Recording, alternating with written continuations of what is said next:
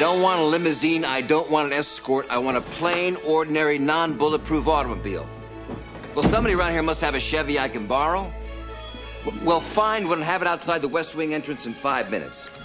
Excuse me, sir. Where are you going? I'm going over to her house. I'm going to stand outside her door till she lets me in. And I'm not leaving till I get her back. And how are you going to do that, sir? Well, I haven't worked that out yet, but I'm sure that groveling will be involved.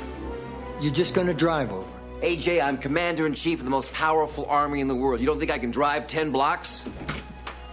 Just uh, stay away from DuPont Circle. I hear it's murder this time of day.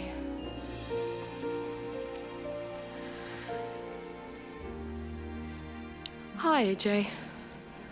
Nice to see you, Miss Wade.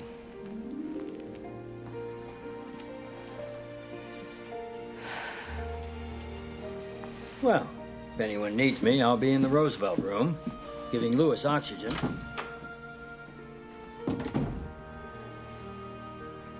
I heard your speech.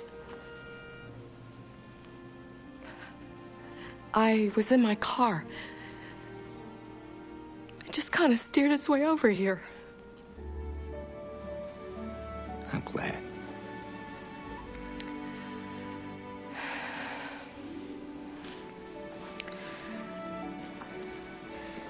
Sydney, I didn't decide to send 455 to the floor to get you back. And I didn't come back because you sent 455 to the floor.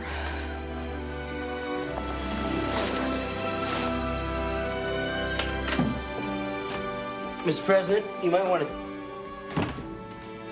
Hi, Sydney. Hi. I moved Social Security up front. Mr. President, Mr. Leventhal, Treasury wants two minutes. Hello, Sydney. Mr. President, excuse me, Miss Wade. Miss McCall is on her way over, sir.